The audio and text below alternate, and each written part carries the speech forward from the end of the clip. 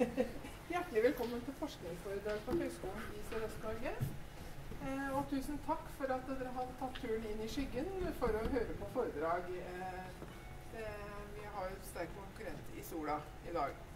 Jeg heter Elin Hermanrud og jeg er bibliotekleder her på Campus Porsgrunn. Eh, og høyskolen har jo eh, som en av sine målsettinger å gjøre forskninga si tilgjengelig for folk. Uh, og det er uh, noe av det vi i biblioteket også jobber med, og det syns vi er veldig morsomt. fordi For det første får vi vist fram forskninga vår og alle de dyktige forskerne. Og så får vi satt forskninga i en sammenheng. For de er jo veldig gode til å presentere det de holder på med. Og så er det like morsomt hver gang å se at dette går rett inn i dagliglivet vårt på en eller annen måte så har det alltid relevans til dagliglivet våre. Uansett hvor forskjellige foredrag vi har hatt i denne foredragsrekka. Så det er veldig gøy, og det liker vi å jobbe med. Og i kveld så er det professor Stephen Walton som skal holde foredrag. Og han er noe så hva skal jeg si, sjeldent eller spesielt som en engelsk-nynorsk spesialist. Og nå må jeg ha litt jukselapp, for det er omfattende greier. Du er altså eh, engelsk-nynorsk ekspert med doktorgrad på Ivar Aasen og nasjonalromantikken. Han er også Norges første professor i nynorsk skriftkultur. Tenk det. Eh, og du har også fått Språkprisen for framifrå nynorsk i sakprosa i 2009. Det syns jeg er veldig imponerende. Og ellers eh, så har han publisert masse, både sakprosa Du har skrevet en roman som du fikk veldig godt kritikk for. Debutantprisen. Stemmer det? Ja. Og forsknings- og interessefelta spenner fra, fra, nynorsk eh, og kjønn og seksualitet og en imponerende publikasjonsliste. Så dette gleder vi oss til. Eh, du må fylle ut det du syns mangler. Vær så god. Ja, skal, tusen takk hyggelig, det er alltid hyggelig å bli presentert. Nei, nå har ikke slått på Nei, det må du gjøre. Nei, skal vi se. Uh, sånn. Nå har jeg slått uh, Nå hører jeg iallfall meg sjøl. Um, ja det, Altså, jeg mener at det kanskje ikke er så, så stor spennvidde i det jeg har gjort, som andre helst gjør. Fordi at uh, det gjengen det gjenger sambandslinjer mellom alle disse temaene. Det kan, det kan vi ta rent privat en gang. Um, jeg er ikke her primært for å snakke om meg sjøl, men uh, for å snakke om dette. Altså, dette er den uh, mest tabloide versjonen av um, temaet jeg klarte å hoste opp. Um, og så ser jeg at dette har vært vellykka er såpass mange av dere som har kommet dere ut av sola for å høre på dette. så det har tydeligvis funka. Og så ser jeg at det står her hva tid var det ferie å være homo Porsgrunn 11.5.2016. Men det er ikke svaret på spørsmålet. Um, uh, det skjedde faktisk litt tidligere. Um, altså, ja, jeg kan bare veldig fort si at det, det, jeg jobber med nå, det vil da dukke opp i løpet av kvelden.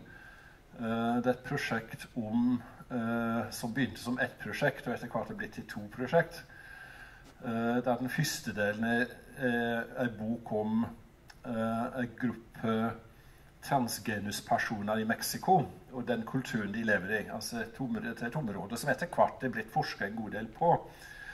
Um, som har en veldig spesiell kjønns- og genuskultur. Uh, et område med en veldig spesiell kjønns- og genuskultur i Mexico. Uh, med et trigenussystem. Dette vil vi komme tilbake til. Uh, og den andre delen er den vestlige, mannlige homoseksualitetens historie. Som begynte som en slags uh, uh, Ja, dette oppsto, dette oppsto vel for å kontekstualisere disse folka jeg jobber med i Mexico. Men etter hvert så synes jeg dette ble ganske spennende, så det, det er blitt et nokså stort manus av dette. men nå prøver jeg å få ferdig den meksikanske delen. Og den andre delen vil etter hvert bli ferdig, håper jeg. Ja. Så det er det jeg jobber med. Um, da ser dere uh, Dette er det stort nok. Um, altså, Jeg kan ikke gjøre noe med det nå, i og for seg, men uh, ja. Hva er homoseksualitet? Altså, da, da, skal jeg rett og slett begynne med Når du går på sånne kurs i høgskolepedagogikk og sånn, så, så sier jeg det Det har jeg forresten aldri gjort, men det vil bli pinlig klart etter hvert også. Um, men det som leker ut for disse kursene, er at de begynner på første dag med å, med å fortelle de nye professorspirene og førsteamanuensisene hva de er. At det, det, er en ting du aldri må gjøre når du, når du skal holde et foredrag. og Det begynner med å stille et, et spørsmål til publikum, eller til tilskuerne. Så, så ja, da gjør vi det. Hva er homoseksualitet? Ja?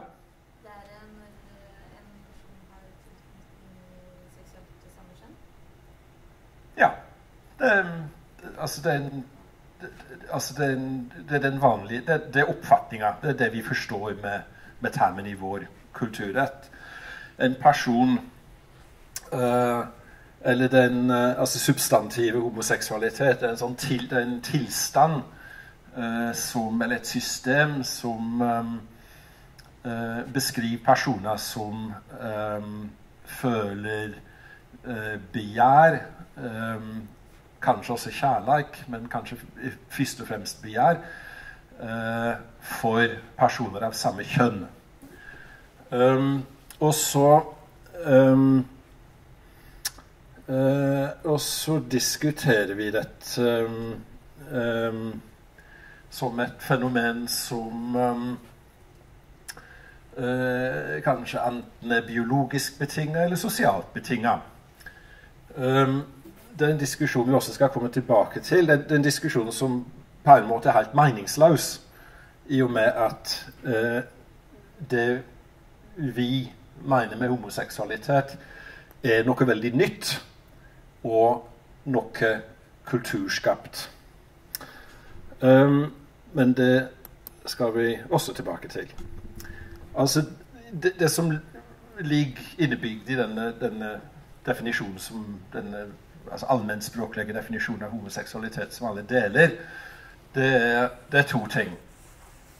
Um, altså Dette handler om objektvalg. Altså Det handler om at en homoseksuell person forelsker seg eller har lyst på å ha sex med uh, en viss type begjærsobjekt. Og begjærsobjektet er en person av samme kjønn. Uh, for andre så, um, så syns dette også impliserer at uh, at dette her er en viss type person. Altså En homoseksuell person er en person som har noe felles med andre homoseksuelle personer. Dvs. Si at han eller hun er homoseksuell. Altså Dette er en identitet. Altså Det er noe uh, Det er, det en, en, kategori som disse personene presumptivt deler og er sammen om å høre til. Um, men um, bare for å uh, holde fram eller Jeg skal løfte altså Intensjonen her er å løfte forvirringa opp på et høyere plan, og så vil alle åpenbaringene komme om ca. en halvtimes tid. Um, så uh, altså Der har vi vår homoseksuelle person. Um, uh, men det er et annet spørsmål her, eller dette er egentlig et spørsmål eh, som vi også kanskje eh, tar litt vel for gitt. Eh, det vil si at vi, vi mener kanskje vi har en oppfatning om hva sex er. Altså en homoseksuell person, en person som har sex med personer av samme kjønn. Men hva er da denne sexen? Altså, hva, skal ikke, dere skal slippe å svare på det spørsmålet. Um, hvis ikke dere har veldig lyst, da. Eh, men altså eh, Hvis du begynner å spørre folk konkret eh, dette, dette, er blitt gjort mange ganger. Om, også folk innafor vår kulturkrins og innafor vår generasjon. altså Det var en studie eh, tidlig på 90-tallet med amerikanske college-studenter. Um, i kjølvannet av um, Monica Lewinsky-saka. Altså, vi skal ikke repetere den. Dere husker hva den gikk ut på. Um, men president Clinton, eller iallfall den første president Clinton, mente og, og, sa under eid at han ikke hadde hatt seksuelle forhold med denne dama. Dette var en påstand som mange var skeptiske til. Og det at han da skal ha ligget om sitt forhold til Monica Lewinsky, utgjorde grunnlaget for en, en Eh, altså en slags politisk motivert kuppforsøk, men det var iallfall eh, et steg mot eh, riksrett. Um, sammen, altså etter den saka var det iallfall en, en undersøking mellom uh, amerikanske college-studenter for, for, å finne ut hvordan de forsto altså hva, altså hva de forsto med sex. Um, og i, iallfall fall den Dette var altså hvite amerikanske mellomlagsstudenter fra et, et eller annet college i, eller et område i Midtvesten. Det var altså folk som oss på mange måter. Um, og de var jo helt enige med ham. Altså Etter deres definisjon av sex så hadde ikke han hatt sex med Monica Lewinsky. Altså, de hadde en oppfatning av sex som en uh, som, altså genital-genital kontakt, og ikke, ikke den typen kontakt som uh, Clinton hadde hatt med Monica Lewinsky. Um, og uh, det vi da kan begynne å tenke på her, det er at dette, altså sex er et veldig nytt omgrep. Altså, dette er et ord som uh, i utgangspunktet i um, uh, Dette er et ord som er lånt inn i norsk. det er et latinsk ord. Uh, I latinske språk så blir dette ordet fremdeles brukt i tynga kjønnsorgan. Uh, så le sex på fransk betyr altså Det blir spesielt, kanskje spesielt brukt om menn. Det, det, er penisen. Altså det er et, det er et organ. Og så i, gjennom, i, i, uh, i, figurativ forstand så det handler det om hva du gjør med kjønnsorganene dine. Um, men dette er, en, dette er, ikke et omgrep eller en kategori som alle kulturer deler. Altså Dette er noe som eh, dette er noe vi har laga for å beskrive visse typer aktiviteter. Uh, og som sagt, hva, nøyaktig hva aktiviteter det er som utgjør sex, det, er, det varierer mer enn vi kanskje er klar over, også innenfor vår kulturkrins. For ikke å snakke om mellom ulike kulturkrinser. Um, kan altså Hvis dere, hvis dere spør, så kan jeg konkretisere det senere. Men um, altså, handlinger som vi, vi, oppfatter som opplagt og sjølsagt seksuelle, er ikke nødvendigvis det i andre kulturer. Eller de er ikke intime på den måten som uh, dette omgrepet synes det å føresette. Um, når det gjelder identitet um, altså Jeg sa i stad at uh, altså det å være homoseksuell uh, altså det har med sex å gjøre, det har også med, med, ob ja, med objektvalg å gjøre, og det har med identitet å gjøre. Uh, og identitet har to dimensjoner. Altså det har en vertikal dimensjon. Det vil si at du Altså du er du over lengre tid. Altså hvis eh, hvis du oppfører deg eller oppfatter deg på en måte som omgivelsene oppfatter som omskiftelig, så vil vi straks begynne å snakke om ustabil identitet. Eller du vil bli sendt til en psykiater for å få en diagnose om, uh, om identitetsproblemene dine. Altså, vi forventer i vår kulturkrins at folk skal være seg sjøl lik. Uh, klart vi utvikler oss litt, men i hovedsak skal du være gjenkjennelig over en veldig lang periode, og helst gjennom hele livet. Og når du er død, da er identiteten din uh, uh, fullført, og da kan noen komme og skrive biografien din. Uh, apropos det. Um,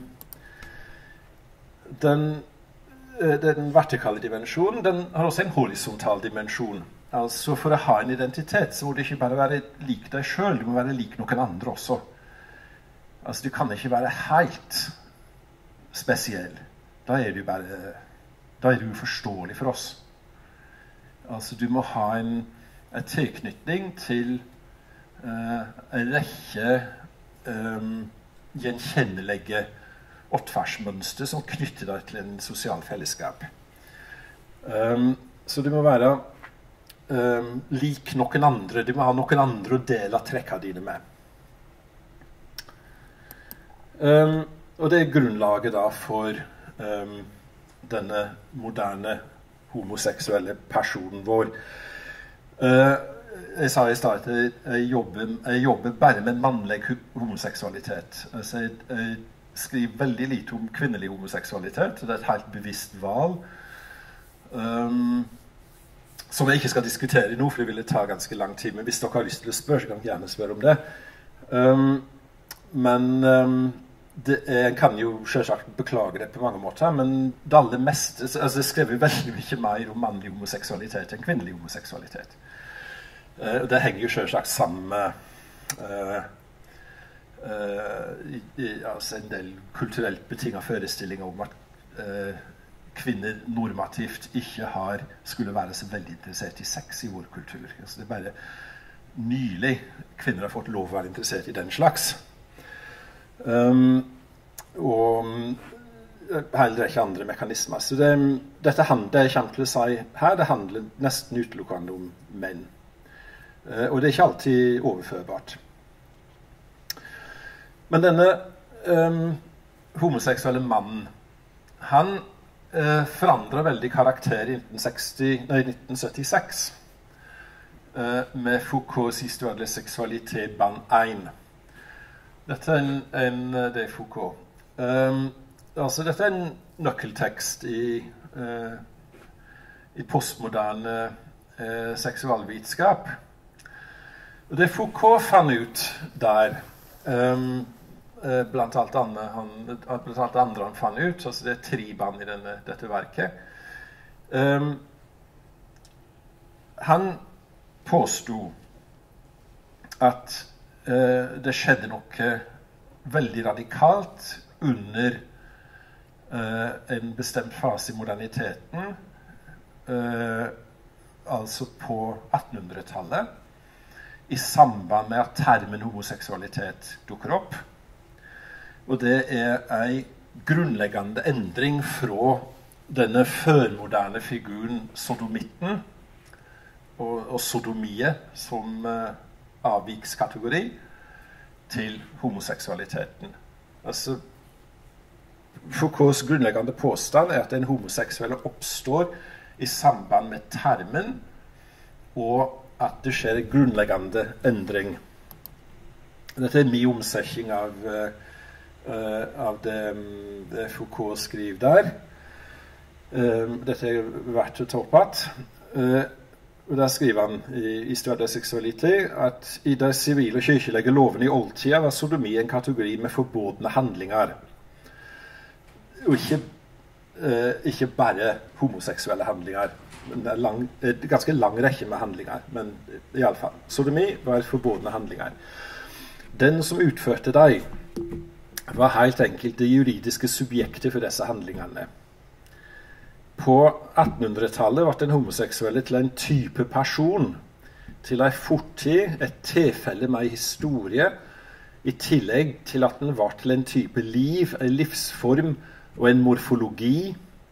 Altså han hadde bestemt form, med en felles anatomi og kanskje også en gåtefull fysiologi. Um, eller for å si det litt enklere um, Den homoseksuelle uh, fra eh, det tidspunktet det er snakk om her um, uh, begynner for første gang historisk å høre til en egen kategori i kraft av sin homoseksualitet. Um, og i tillegg Um, nå gikk vi tilbake til identitetsdefinisjonen i stad. Uh, det vesentlige var at den homoseksuelle delte dette trekket med andre homoseksuelle. Og kanskje flere andre trekk også. Dette er en parafrase over Foucault. Er dette greit, eller er det noe her som ikke er klart? Dere må bare spørre hvis uh, skal, skal, jeg bare holde fram? Går det bra? Um, eller for å si det enda enklere Sodomi var noe en gjorde, og ikke burde ha gjort. Uh, mens homoseksuell var noe du var. Den enkleste måten å, å si det på. Uh, altså Sodomi var som sagt en veldig omfattende kategori med ulike seksuelle praksiser, ikke bare homoseksuelle praksiser, men slike seksuelle praksiser som ikke var orientert mot reproduksjon. Um, det er det som uh, er bindeleddet mellom, uh, mellom dem. Uh, men, ja. Jeg tenker på dagens situasjon og lovverk og avvik, for det var jo mest det det ble sett på som. Så tenker jeg at vi, vi kaller folk som dreper, for mordere. Vi kaller folk for kjeltringer og tjuvpakke og det ene og det andre. Men var det mener Foucault og eventuelt du virkelig at man var ikke sodomist? eventuelt? Sodomist var So sodomitt. Ja. Ja. Uh, begrep, eller? um, jo, altså du, altså du blir sodomitt av å leve i et samfunn som definerer deg som sodomitt.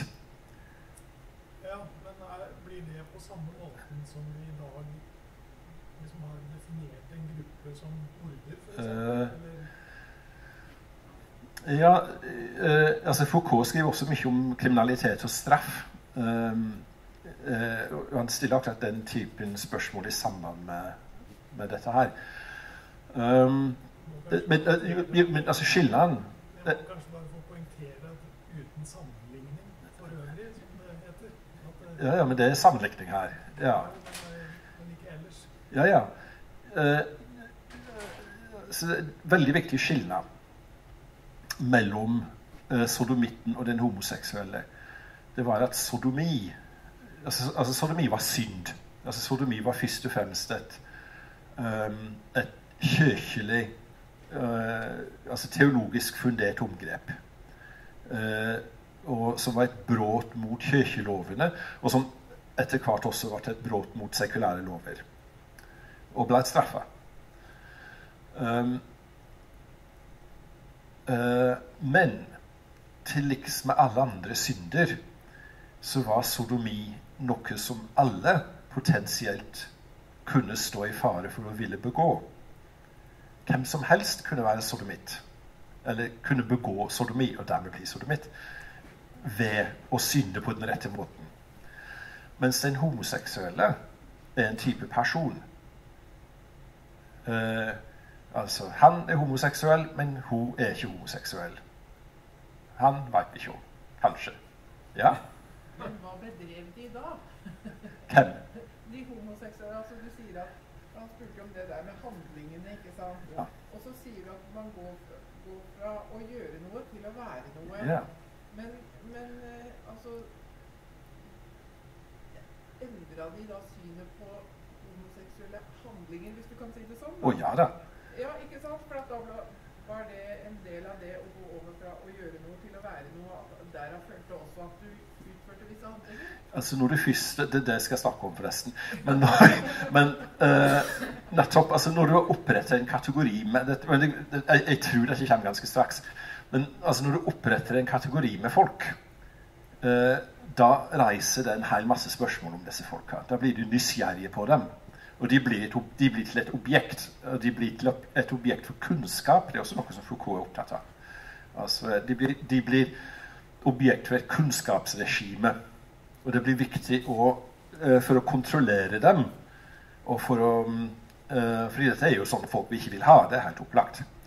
Um, eh, de må kontrolleres, og deres må korrigeres, og de må settes på plass og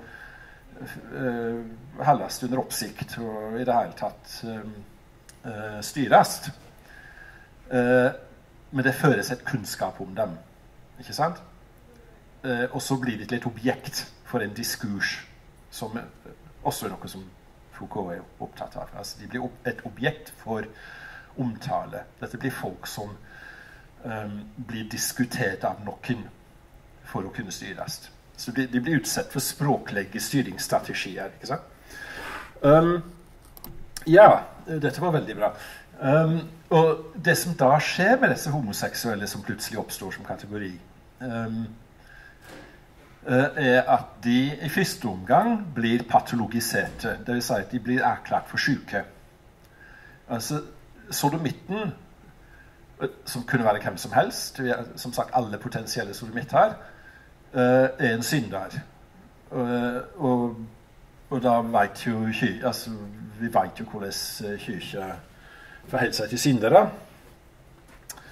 De kan, de kan, straffes, de kan tilgis, de kan gå i forbønn for dem. Det, det, er masse måter å takle dem på. Um, men den homoseksuelle, han, eller hun, han spesielt, var ikke synder. Han var sjuk. Og det er der dette kunnskapsregimet gjør seg gjeldende. Det, det, det kunnskapsregimet som den homoseksuelle blir utsatt for, er en medisinsk kunnskapsregime. Um, ja, altså Her går vi altså fra synd til sykdom. Altså Dette er oppvisning av såkalt biomakt. Altså at en uh, altså Ved å analysere og bli klar over den, den fysiske sammensetninga til et uh, materiale, altså i dette, tilfellet en person, så skaffer du deg kunnskap om hvordan personen skal forvaltes i samfunnet. Altså Dette er noe som um, den framstormende legestanden driver med. Altså Legene som yrkesgruppe er jo i uh, Som alle andre spesialister. De er i uh, på 1800-tallet. Um, men det som um, en kanskje ikke umiddelbart tenker på, det er at hom de homoseksuelle sjølve, i den grad de var i stand til å fungere som sosialt subjekt, og ikke bare som objekt for en diskurs som er skapt om dem, de hadde også sterk interesse av å framstå som syke. Og de adopterte, de omfavna denne definisjonen av seg sjøl som syke. Altså sykdom uh, innebærer iallfall to ting. Altså symptom og terapi. Altså uh, Sykdommen din blir synlig på ulike måter. Um, det er symptomer som um, forteller deg og legen hva det er som feiler deg. Og da kan legen, eventuelt med de mer eller mindre aktive deltaking, uh, begynne med terapi. Uh, og det er det som skjer med, den, med de homoseksuelle når, uh, når de oppstår som kategori. Dette, dette, med å finne altså, Og da begynte en å leite etter symptom. Dette er en prosess som på ingen måte er ferdig. Altså, dette, altså, det kommer I den biologiske diskursen om, om homoseksualitet der, der forskere som f.eks. Simon LeVay, som er en nevrobiolog som er kjent for dette uh, Han ble også hyra inn av Harald Eia i um, i sin serie i 2010 for å, for å fortelle at homoseksualitet, homoseksualitet, er biologisk betinga. Um, og har årsaker Heteroseksualitet er ikke biologisk betinget. Heteroseksualiteten har ingen årsaker. ikke sant? Den bare er. Men homoseksualitet har jo selvsagt årsaker og må forklares. Um, men i, altså, du, dette her, denne lista her kan jo uh, bygges ut i det endeløse. Um, altså uh, Dette er delvis gamle teorier, delvis nye uh, nevrobiologiske teorier om, om hvor, altså, hvordan ser du hvordan ser du at han er homo? Uh, fordi Når du først har laga kategorien, så vil du selvsagt vite hvem som hører til den. Um, det som Ja, jeg skal ikke lese opp liste, den eh, kan dere lese sjøl. Um, uh, ja. Um, altså, noe av dette altså, det, det, er ikke min oppgave å stå her og fortelle dere at alt dette her er usant. Det kan godt hende at homoseksuelle menn har større penis enn heteroseksuelle menn. Altså, det kan ikke dokumentere, men det, Uh, altså Mine homoseksuelle kompiser sier at uh, dette hadde iallfall vært veldig festlig. Så det er en sånn teori som vi liker. Um, men altså, det fins teorier om fingerlengd. Altså, det er greit. Men det er ikke det som er poenget. Poenget er at når du først har laget en tilstand, så må du finne symptom på den. Um, uh, og så var det det terapeutiske spørsmålet som meldte seg, da. Um, uh, og da, uh, til, til liksom andre, andre sykdommer så kunne sykdommen enten være genetisk betinga, det kunne være en medfødt tilstand.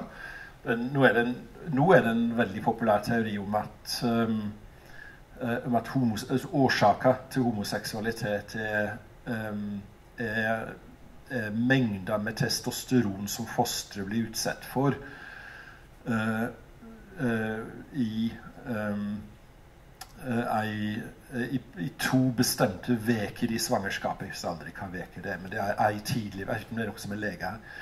Det er ei uke relativt tidlig i svangerskapet, ei uke senere i svangerskapet. Og det er en teori om at hvis et, fos, et guttefoster da, blir, Hvis et guttefoster blir um, utsatt for et relativt svakt testosteronbad, altså det er testosteron som eh, gjør fosteret som i utgangspunktet er predisponert til å bli eh, til en kvinne. Altså testosteronbadet endrer ca. halvparten av fosteret i retning av gutter. Eh, og hvis eh, fosteret ikke får akkurat nok testosteron, så kan dette bli en litt sånn jente til gutt, dermed homo. ikke sant? Altså dette, dette er altså, et, et teori som jeg synes det er vanskelig å ta det alvorlig. Fordi at det ligger så klare um, kulturelle føringer i, i, um, i, um, i, dette handlingsforløpet og i hele definisjonsgrunnlaget for teorien. Men ja, men det, dette er en uh, populær teori blant uh, de som vil ha det til at uh, homoseksualitet er en slags medfødt tilstand. Alternativt så kan eh, anlegg for interesse for eget kjønn det kan være tilegna. Dette er noe som kan, eh, du kan eh, eh, tilegne deg.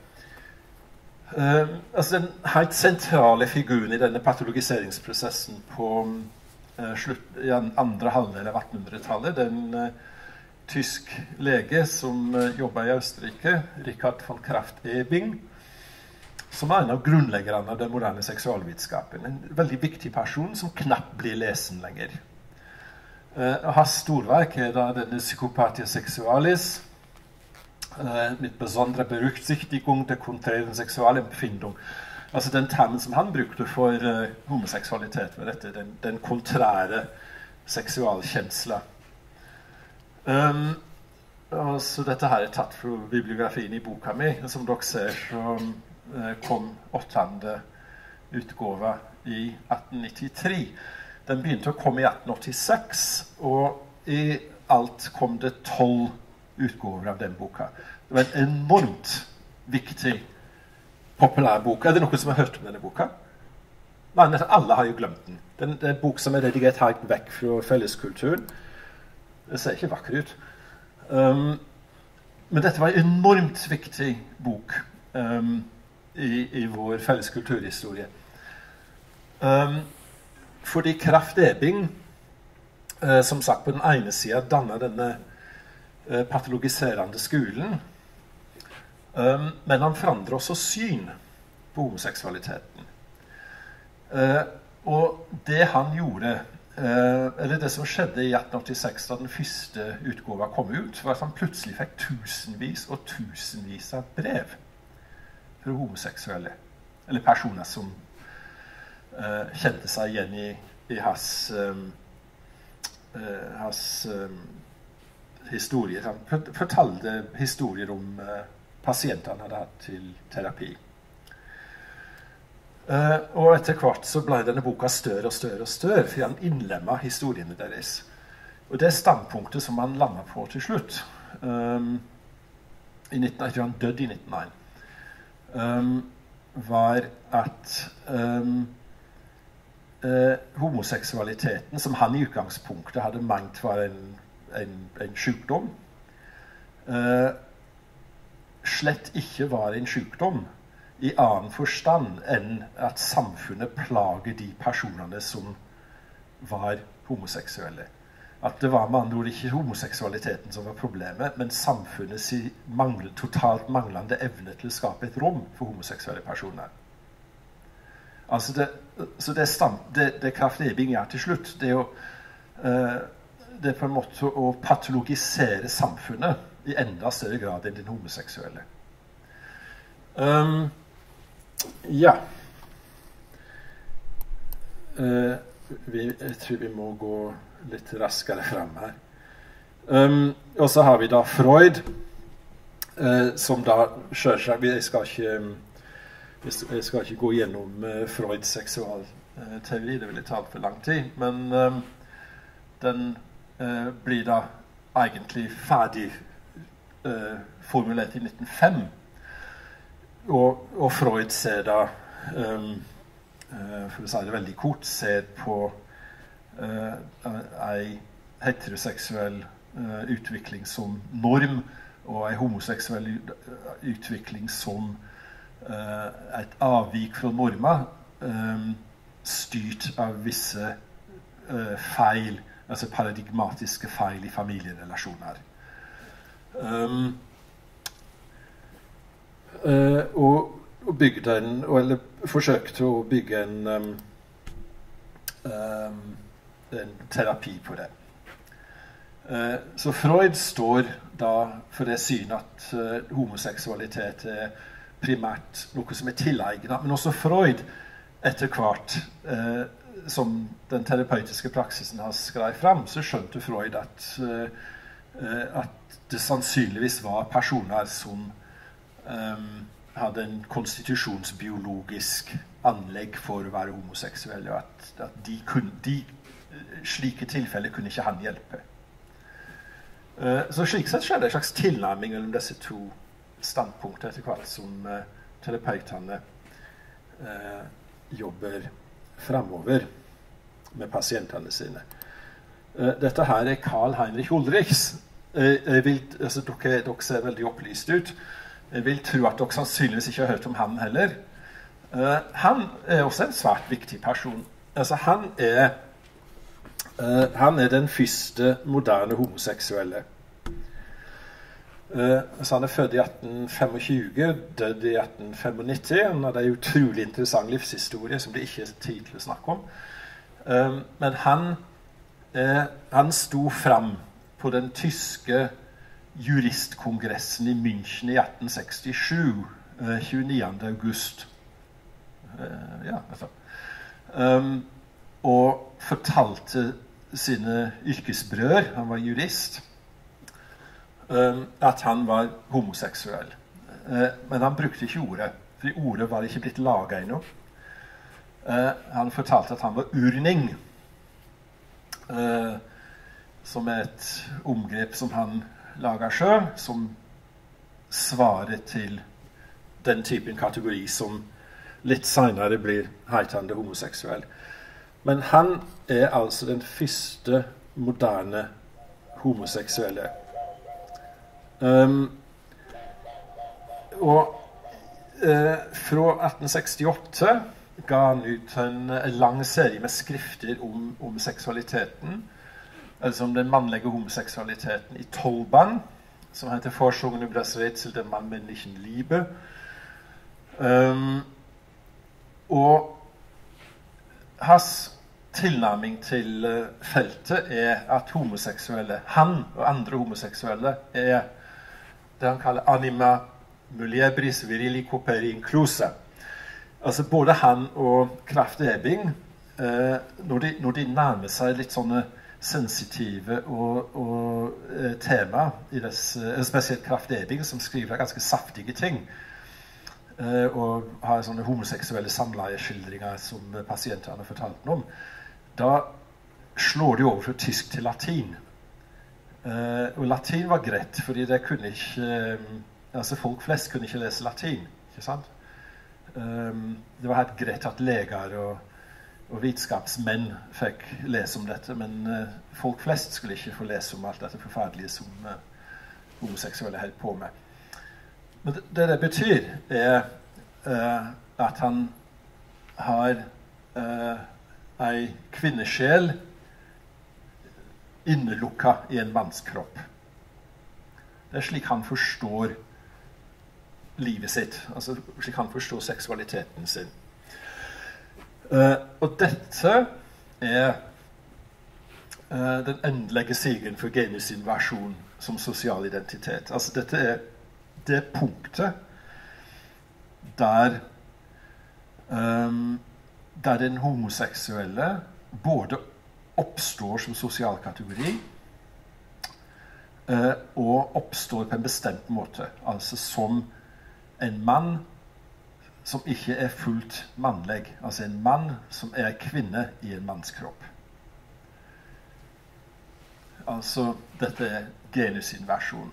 Den, den moderne homoseksuelle mannen ble født som ei kvinne i en mannskropp. Ordet homoseksuell blir brukt uh, for første gang to år seinere i, i den uh, ikke spesielt populære teksten. Altså en juridisk tekst. Uh, det er ikke tilfeldig at dette skjedde i Tyskland. Um,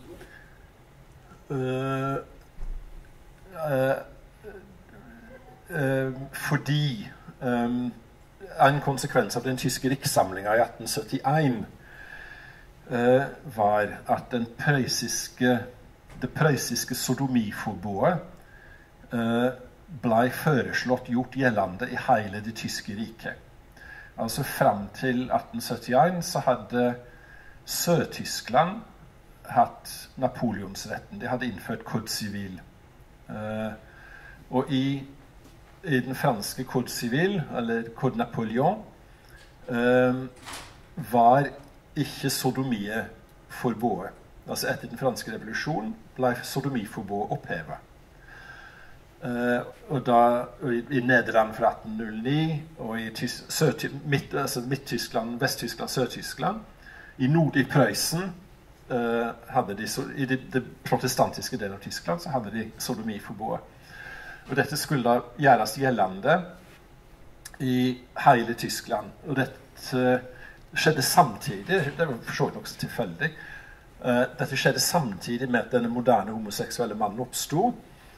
Uh, og dette uh, fungerte mobiliserende spesielt på Og det er heller ikke tilfeldig at, at Ulriks var jurist. At det er en jurist som tar opp denne problemstillinga. For dette sodomiet, altså som nå heter homoseksualiteten, blir et juridisk spørsmål på en ny måte.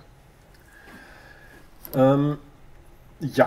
Det, dette skriver jeg i raut fordi det er veldig viktig. Der har vi um,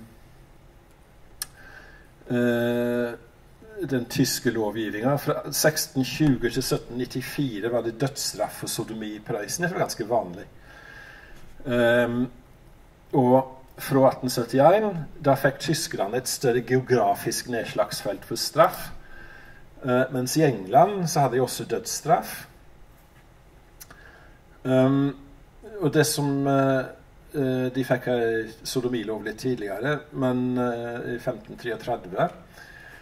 Um, men der på 1800-tallet, 1885, så blir det sosiale nedslagsfeltet utvida i England. Altså det, det, geografiske nedslagsfeltet blir utvida i Tyskland, det sosiale i England. Det som skjer i England, er at um, det ble vedtatt et lovtillegg i 1885 uh, som kriminaliserte det de kaller grov utukt, også privat. Altså den lova som felte Oscar Wilde. Altså det var ikke noe av det, det du gjorde hjemme, det, var, uh, det kunne du også straffes for.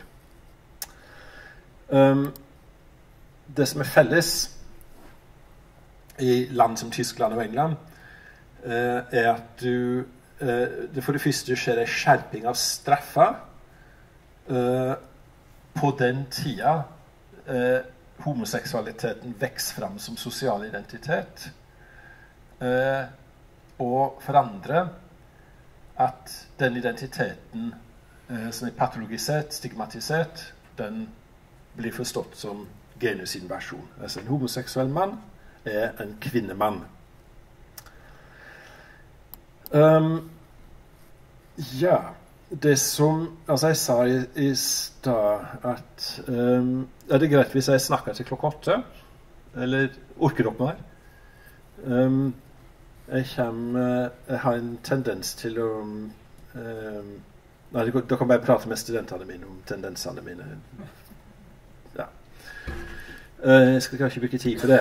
Um, uh, altså uh, Som da skjer på denne tida, eller litt seinere, da. Altså, ups, at, at, som sagt at legene skaper denne patologiserte kategorien. Og jeg sa i stad de homoseksuelle sjølve tok fatt i dette her. Hvorfor var det så stas å være sjuk? Um, der har vi Magnus Hirschfeldt. Altså han uh, Har dere hørt om han? Også en svært viktig person. Han, um, han var så viktig at instituttet hans han, hadde, han var leder for et seksualvitenskapelig institutt i Berlin som het Institutt for seksualforskning. Og Det var den første institusjonen nazistene smadret. 6. mai 1933 så sto det lokale Hitlerjugendlaget der ramponerte bygget, frakta bort bøkene, brente dem, og så spilte et hornorkester med sånn tysk ompa-musikk mens dette pågikk. Og det var det første nazistene gjorde. Så viktig var Hirschfeld og instituttet hans. Men Hirschfeld, jøde, homoseksuell, sosialist, alt som var feil, han, um, han grunnla den første homoseksuelle rørsla. Altså den første kamporganisasjonen for homoseksuelle. Jeg kan si at i 1897 eh, framsto de homoseksuelle som sosialt subjekt på én måte. Altså som politisk eh, rørsle som slåss for egne retter. Det var en av de tidlige bøkene. til er en veldig produktiv forfatter. Was muss das vom dritten Geschlecht wissen? Dette er en sånt tidlig propagandaskrift. Um, um, uh, ja. Her har vi nazistenes um, parodiering av Hirschfeldt. Det er altså fra 1929, før uh, maktovertaket. Um, ja, jeg hadde uh, kan, Altså, dette her eh, Dette er den første homofilmen. 1919. Eh, og jeg, jeg får jeg, hvis, hvis, dere ber meg om det senere, så kan vi se på et klipp. Um, den er en veldig inter fantastisk interessant film. Den er, den er lett å få tak Dere kan jo få kjøpt den som DVD på Amazon og hvor som helst ellers. Um, den kom ut i denne serien her, 'Sosialhygieniske filmverker'. En fantastisk filmserietittel. Um, og, og, det som er interessant med denne, dette klippet, uh, det er en sånn trailer og, eh, som ble laget i Italia for noen år siden. Og eh, det viser helt perfekt denne, denne feminiserte homoseksuelle stereotypien. Altså hovedpersonen som selvsagt går til grunne eh, er innbegrepet av denne homoseksuelle kvinnemannen. Men det kan vi Skal vi se, det var bilde 35. Men spørsmålet altså Nå um, er vi da framme ved det spørsmålet som jeg stilte her innlangsvis. Altså, Når ble det femi å være homo? Altså, Nå har vi uh, plaska rundt på 1800-tallet her. Så har jeg fortalt dere om Foucault. Uh, fortalt dere om Ulrichs, fortalt dere om Kraft Ebing, fortalt dere om Freud, fortalt dere om Hirschfeld. Um, jeg fortalte dere at uh, termen homoseksuell oppstår i 1869, og at uh, dette skjer i samband med, lov, med den tyske rikssamlinga i 1871. Så det ville være helt forståelig og tilgivelig hvis dere satt der og tenkte at ja, ja, svaret på spørsmålet er rundt 1870 en gang det som skjedde Og det er på en måte det altså det, det spørsmålet svarer ikke Foucault på. Men um, det ligger i kortet altså Foucault skriver at dette her skjer på 1800-tallet. Litt sånn vagt. På 1800-tallet uh, skjer denne patologiseringa, bla, bla, bla. Um, men er det virkelig da det skjedde? Og det som har skjedd i, i forskninga etter Foucault, er at historikere har, har prøvd å finne uh, tid, stadig tidligere homoseksuelle subjekt. Eller kontekster der homoseksuelle menn har opptrådt som sosialt subjekt. Altså som en gruppe med en identitet i den tinga vi, vi definerte som i stad. Um, uh, det som um, For å gå veldig raskt her um, så, er det, så er en forsker i Nederland som heter Theo von der Meer, uh, som har funnet ut at um, det fantes samfunn med selvbevisste homoseksuelle i Nederland på 1700-tallet. Um, det spesielle med Nederland, det er to ting med Nederland som er spesielle. For det første så er det ganske tett befolka. Og har alltid vært tett befolka. Og for det andre så er det flatt og vått, og det er om vinteren vinter. Det er kaldt om vinteren. Iallfall på 1700-tallet var det kaldt om vinteren. Nå er det ikke så kaldt lenger. Uh, og kombinasjonen av disse to faktorene uh, førte til at i Nederland hadde de mange mellomstore byer uh, som var relativt lett tilgjengelige, spesielt om vinteren, for da gikk folk på skeiser. Så det var lett å komme seg. De kunne lett uh, reise 20-30 km på en dag. Uh, og van der Meer har funnet, har funnet, ut at det fantes en gruppe med spesielt um, handelsmenn, altså selgere, uh, som, som hadde veldig aktive homoseksuelle nettverk i Nederland på 1700-tallet. Og fordelen med det altså, hva har dette med, Hvorfor står de her og snakker om skeiser? Eller skøyter. Dere sa sikkert skøyter. En miljøskam på Sunnmøre. Um, uh, jo, det, var, det, betyr at du Altså, du slapp å møte naboen. Altså, du kunne, du kunne stikke Hvis du plutselig dette, ingen, dette er ikke noe homovennlig samfunn. ikke sant? Det var jo, eh, altså Nederland var faktisk det verste eh, samfunnet i Europa å være homo i. Eh, tidlig på 1700-tallet. Altså, de hadde pogromer. For, altså, de slakta ned homoseksuelle fra 17 1730-1732. Eh, regelrett nedslakting. Altså fysisk. Um, dette var farlig. Um, og, og, men altså hvis du altså dette, dette, var ikke noe det var spesielt lurt å gjøre hjemme. Men hvis du kunne stikke av til altså Hvis du bodde i Utrecht, så kunne du dra til Dordrecht eller du kunne dra til Maastricht. eller en eller annen. Du kunne alltid komme deg rundt. Um, mens i England um, uh, altså det, Her er en uh, som heter Randolph Trumback, som er amerikaner. Men han har forska på såkalte Molly Houses. De fantes i uh, London fra 1650 og fremover. Litt altså 50-60 år tidligere enn i Nederland. Og det var et slags homoseksuelt tilsvar til kaffehuset. Altså, det var møteplasser. Altså, det var delvis snakk om prostitusjon og sal og kjøp av seksuelle tjenester. Men det var også møteplasser der homoseksuelle møttes. Og, der, um, og, og, hva gjorde de da? Jo, de kledde seg ut som kvinner. Altså dette er en plass der, der en, uh, en form for homososialitet oppsto som også var genusinvertert. Um, der har vi Dette er en, et teaterstykke som uh, heter 'Mother Claps Molly House', som uh, gikk for noen år siden. Som framstilte livet i en, en Molly, et Molly House.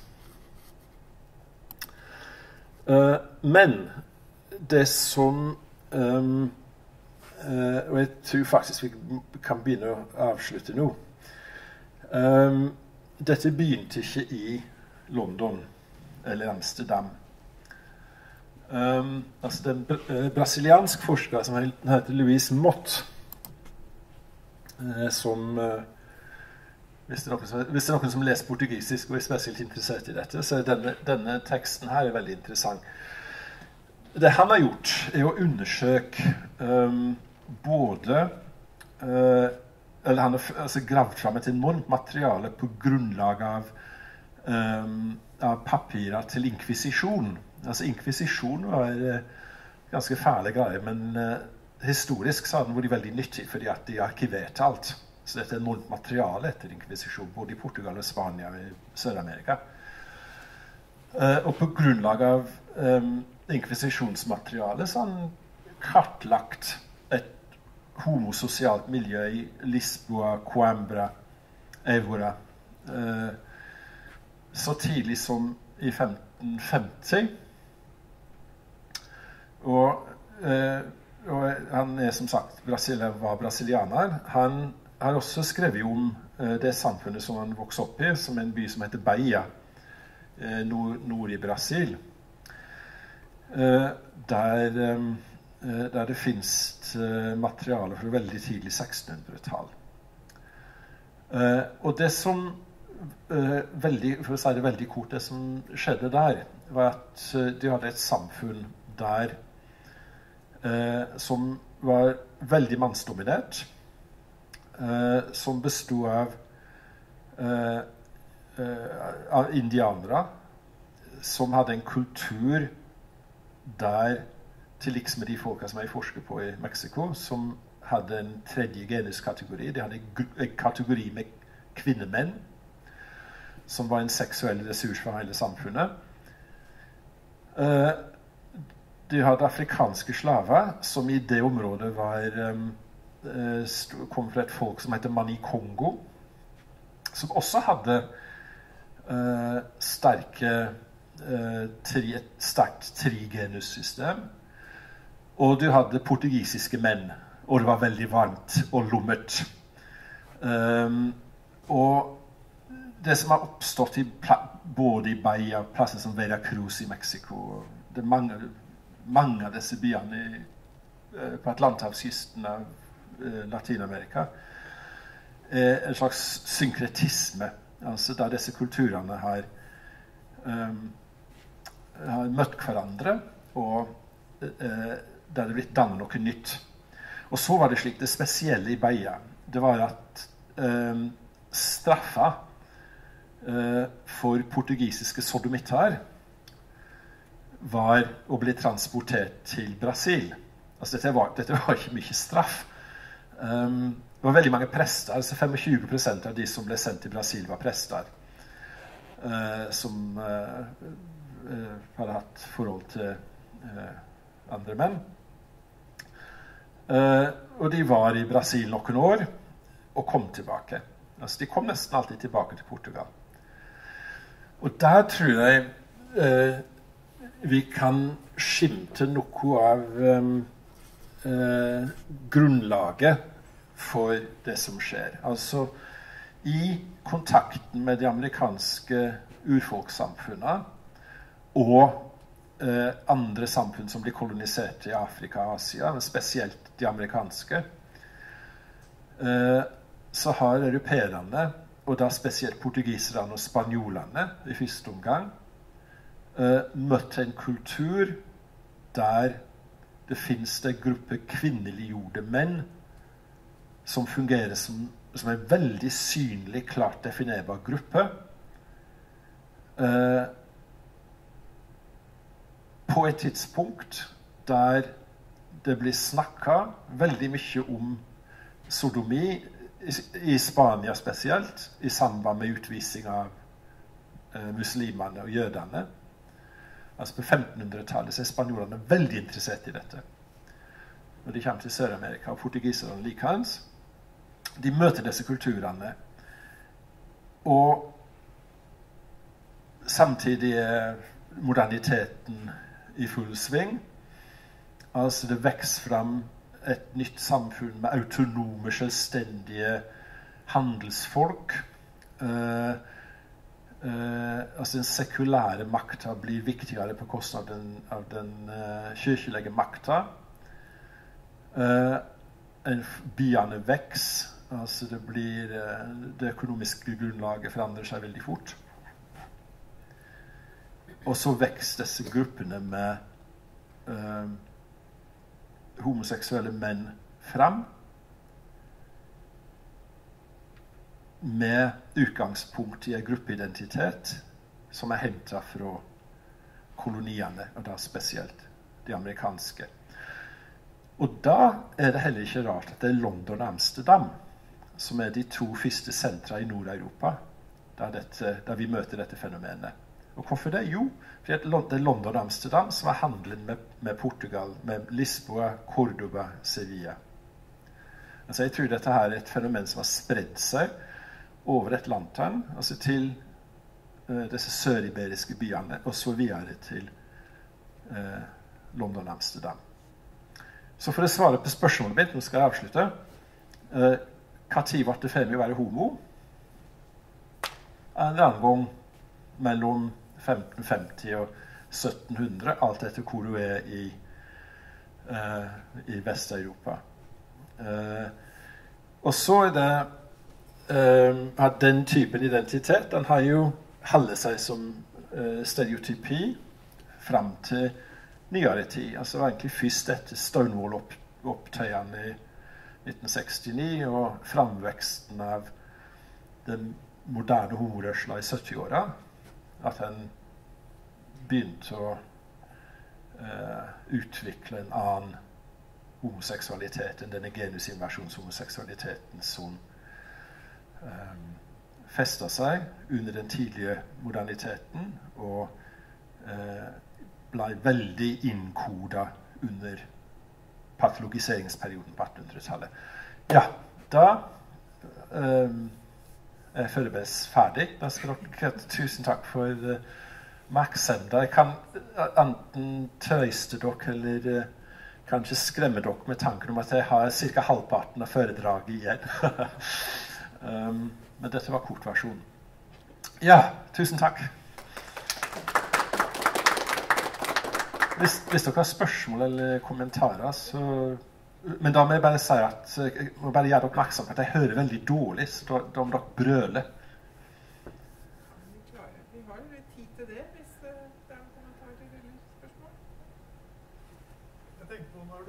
svarte på spørsmålet, så sa du at 1550 til 1700 ca. ettersom hvor i Vest-Europa du befant deg. Med det så har du jo samtidig sagt at Men lenge før i andre deler av verden. Eller? Ja. Mm. Aner vi noe om hvor lenge før, og om det Jo, um, altså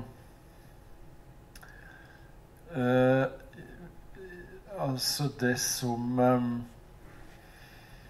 altså Det seksualantropologien har påvist, er at det fins uh, Det fins tre hovedvarianter av ja, det, det fins tre hovedvarianter av homoseksualitet, men det blir egentlig feil å si det sånn, fordi at homoseksualiteten er et kulturelt eh, situert omgrep. Det, altså det, er tre måter å, å, å organisere samkjønna forhold på. Um, og i, uh, altså i det som uh, Richard Burton, som var engelsk antropolog på 1800-tallet. Han, han lager et omgrep som heter det sotadiske beltet.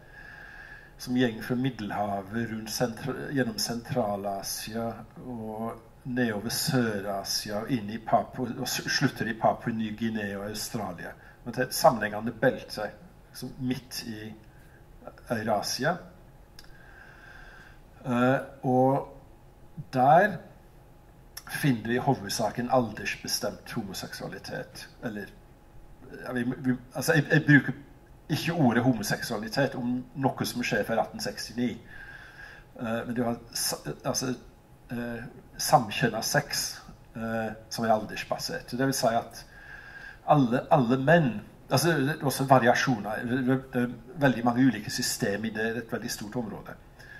Um, men det som er felles, er at uh, menn har en uh, seksuell karriere der de, der de, vanligvis blir penetrert analt som unge menn, altså som uh, tenåringer, altså fra puberteten, av litt eldre menn. og når de blir litt eldre, så skifter de rolle. Da penetrerer de yngre menn. og så um, og så skal de da møte Og så skal de gifte seg og få barn med ei dame. Eh, og da slutter som regel den homoseksuelle den, de samkjøn, den samkjønne kontakten. Eh, selv om det alltid har vært en del som holder frem for at de liker det veldig godt. Og det, det, altså, det, det, greske systemet består av det i hovedsak. Og, og disse, disse, seksuelle vennskapene med, mellom unge og litt eldre gutter eh, eh, altså i, milita i, i, militariserte samfunn som Sparta eh, hadde et veldig sterkt etisk innhold. Det var disse, disse våpenbrorforholdene var veldig viktige. De var, de var opplagt seksuelle. Um, uh, altså I, i Papua Ny-Guinea fins det en uh, folkegruppe som heter Zambia, som, som har Uh, som har en, eller I antropologien heter de Zambia. De heter faktisk ikke det, men den antropologen som har skrevet om dem, kaller dem for det. Um, altså De har et system Eller hadde uh, et system um, Seks innvigingsritualer på ulike tidspunkt i, i, i, i, den unge mannens liv, som begynner når guttene var sju år Uh, og De hadde et system som gikk ut på, på munnlig inseminering. Altså det var altså, 77 år gamle gutter um, uh, tok imot sæd i munnen fra eldre menn. Uh, og, og, systemet da kulminerte når de var Eller de slutta da de var fire, rundt 24. Altså etter at det andre barnet de fikk, ble født da skulle de slutte å ha forhold til å ha sex med, med, menn. Da skulle de slutte å inseminere yngre menn. Men dette var et, et, et, vel, et samfunn som var veldig kvinnefiendtlig. Altså Hele systemet deres gikk ut på å få disse gutta vekk fra kvinnelig påvirkning. Ja. Men det, kan si at det har visse fellestrekk med det greske systemet. Um, Altså, altså det er alderssteg der, altså menn og gutter på ulike steg i livet skal ha sex med andre menn og gutter. Da reiser også spørsmålet seg hva er sex? Um, ja. Uh, og så har vi det nordøstasiatiske amerikanske systemet, som er helt annerledes. Uh, jeg kan vise dere uh, bildet av Uh,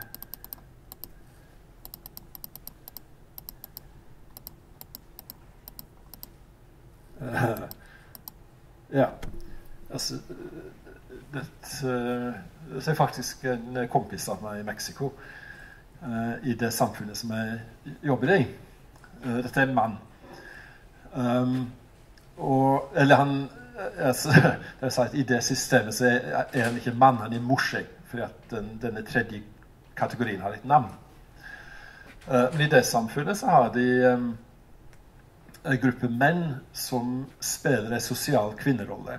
Altså både på den måten at de er kvinnearbeid, og at de har en framtoning som kvinner. Altså han, eller hun har gått veldig langt i å uh, forandre kroppen. Ikke alle, ikke alle som uh, får operert i bryst. Um,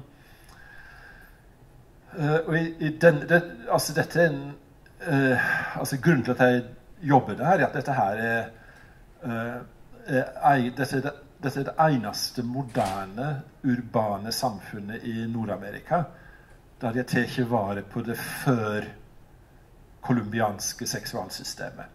Det er den siste plassen der de praktiserer system, en variant av et system som er felles for hele Amerika før europeerne kom. Uh, og systemet går ut på at i motsetning til um, denne, dette aldersbaserte systemet der alle menn gjennomgår en periode med samkjønna sex, uh, så er den, den samkjønna sexen er konsentrert i ei gruppe. Altså denne gruppa her er um, Eh, en, en, seksuell ressurs for samfunnet. Eh, altså, Deres seksualpartner er, er menn som eh, altså I den lokale termen for disse mennene mayatis. Hvis du spør dem Hvis du liksom eh, altså Jeg bruker veldig mye forskningstid i Mexico på altså jeg sitter på barer og drikker øl. Det er et fantastisk forskningsprosjekt. Og dette her må ikke du ta om. Um, men altså, det, det, er arena der, der jeg møter altså, jeg, altså, Den plassen der de snakker med informantene dine, er på barer. ikke sant? Så jeg sitter på, sitter på baren men, uh, men Mayate. Ikke sant? Du, du, er en mann, du, har, uh, du, er som regel gift, du har et barn eller to. Men du er seksualpartneren til, uh, til Moshes. Um, hvis jeg da spør deg liksom, hva er, hva, hvordan, hvordan, er din Hvordan oppfatter du deg sjøl? Og så sier de ja, men jeg er en mann. Og så sier men er du, er du homo? Nei, nei, nei, jeg er ikke homo. Han er homo. Jeg er ikke homo. Ikke sant? Og det som i det systemet eh, og så er Derfor jeg spurte dere innledningsvis hva er homoseksualitet. Du svarer helt rett i forhold til vårt system. Eh, altså En person som har sex med en person med samme kjønn, er ho, eller handlinga er iallfall homo. Um, uh, i, i, i, det samfunnet så er det altså den en mann som har en framtoning som mann, og som penetrerer uh, en morse analt, er ikke homoseksuell. Han er homoseksuell, men du er ikke homoseksuell fordi om du penetrerer han. Altså, fordi i det systemet som også eksisterte i Amerika før europeerne kom, eh, så er ikke altså, det, altså, seksualitet har med genusroller å gjøre, og ikke med biologi. Og så har vi det tredje systemet, som er veldig nytt. Uh, ja. Der har vi altså Egil og Det er alltid vanskelig å si Egil og Aksel Aksgil heter de. Dette her er verdens første gifte homopar. Altså, de, et, de var gamle. altså Jeg tror de gifta seg 1. oktober. I ja, de gifte seg i 1989 i København. Og dette er altså det første, det første homoparet som altså, altså, de, altså, de kunne ikke gifte deg i Danmark i 89, men de uh, inngikk, uh, inngikk partnerskap. Men i praksis er det et giftermål. Uh, og dette her um, altså dette her er altså likestilte, egalitære homoseksuelle paret er noe helt nytt. Dette er noe som vi har funnet på. og den, den, altså utenom alderssystemet og utenom en slags iallfall teoretisk kodifisering av seksuelle roller. For alle i Mexico vet at det ikke stemmer. At uh, uh, altså Alle vet at uh, i disse forholdene der altså, du som mann penetrerer han, og han skal aldri penetrere Alle vet at dette er en fiksjon. Men det er ikke, det er ikke realitetene som er poenget. Det er ramma. Liksom fiksjon. Så det er fiksjon som er fortellinga, ikke realitetene. Men dette her er noe nytt. Um, uh, og det representerer en slags um, definitiv avfeminisering av homoseksualiteten. da. Uh, så dette begynte uh,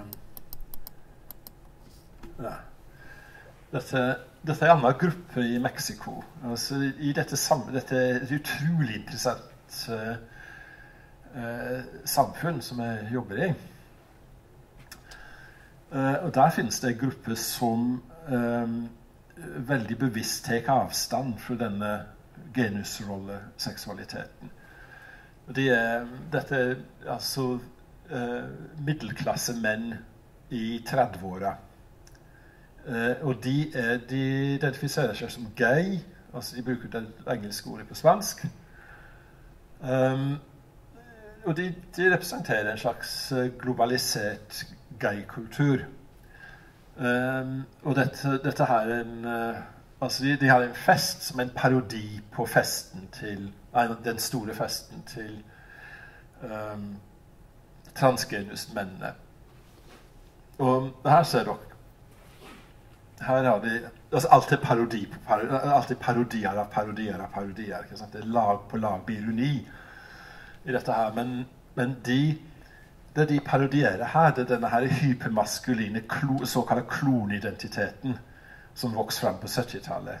Som eh, altså, da, da, da en fikk en reaksjon mot den, den, den, den feminine eh, eh, den, altså feminiserte stereotypien av homoseksuelle menn. Etter Stonewall så eh, Da fikk vi denne her klonestilen som her blir parodiert.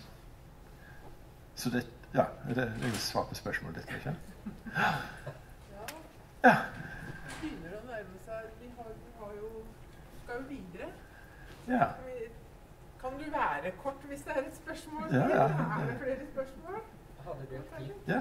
hadde du et klipp eller en trailer du ville vise? Ja. Uh, skal vi se. Uh, det var bilde 35, var det ikke det jeg sa?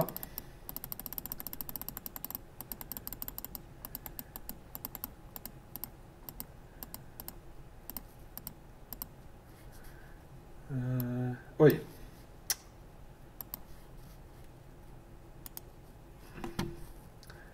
Skal vi se Dette her må vi ah, Jeg prøver å kopiere dette. Uh,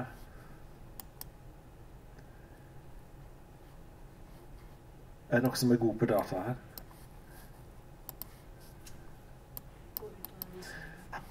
Uh, altså, jeg, jeg, prøvde dette hjemme, og da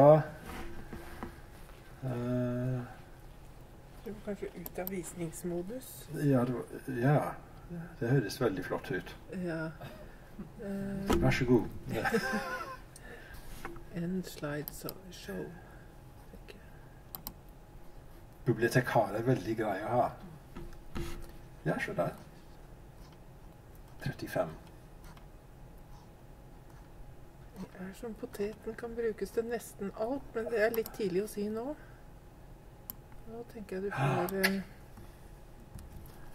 Da må vi inn på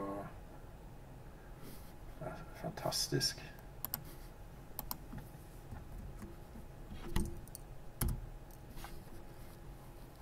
Får vi, opp, får vi lyd også? Det er tvilsomt. Vi hadde litt problemer. Kanskje hvis det, det er ikke så Oi. Ja, det er noe annet. Er det det? Ja. Ja dette er helt Ja, det veit jeg ikke hva er. Hmm.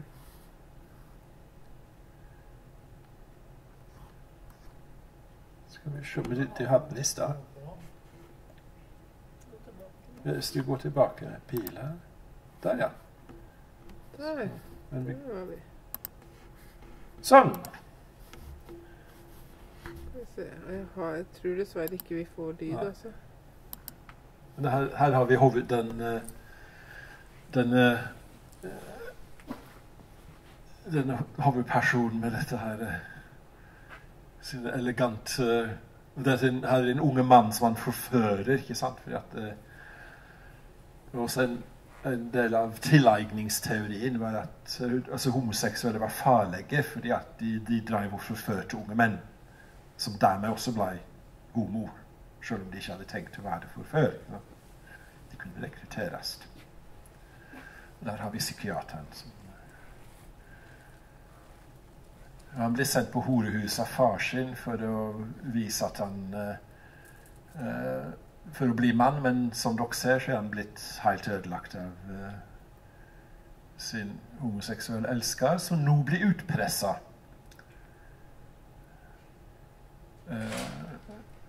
Og, for, og um, fortviler. Ja. det er en eh, veldig tragisk historie. Men det, den eh, det går som sagt eh, an å få tak i den på eh, Den varer vel 50 minutter. Altså det er en eh, lang film. Ja, den varer faktisk i 49 minutter. ja. Vi skal ikke se hele. Ja, og Hirsch, eh, Hirschfeldt er faktisk også med i filmen. Han dukker opp. Um, ja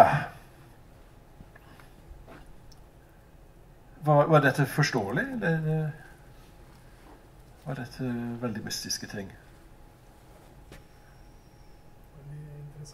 Ja, men det er jo bra. Jeg har, har et manus på 1100 sider. Eh, Så jeg får meg dele opp. Ja, da tror jeg vi må takke for det. Det så ut som du hadde stoff til flere foredrag, så det kan jo hende at vi, du dukker opp seinere ut i rekka en gang. Ja, altså hvis, hvis dere jeg, jeg, altså, jeg har lett foredrag i Bø eh, faktisk to ganger om disse folka som jeg jobber med. Mm. Så hvis, dere, hvis det er noen som er interessert i å høre om dem, så kommer jeg gjerne og prater om dem. Det glemte jeg å si, at uh, du jobber på Høgskolens campus i Bø, på, på kulturstudiet der. På Kulturmasteren. Ja. Kulturmasteren, med et masterstudium i kultur der oppe. Som du jobber med. Og Ja. du har vært tidligere på Høgskolen i Volda og Ivar Aasen-instituttet og enda et sted. Eh, jo eh, Agder? eh, Jeg jobber, med, jobber på Institutt for fagoversetting. Ja. På 80-tallet så jobber jeg på universitetet i London i sin tid. Ja. Så det er internasjonalt uh, overalt, også i Bø. Veldig. ja. Tusen takk for at du ville stille hos oss i dag. Nå får du enda mer å drasse på. Beklager det, men det er tradisjonen, og den holder vi på. Så tusen takk for at du ville komme til oss. Det var kjempemorsomt. Tusen takk. Det var veldig hyggelig.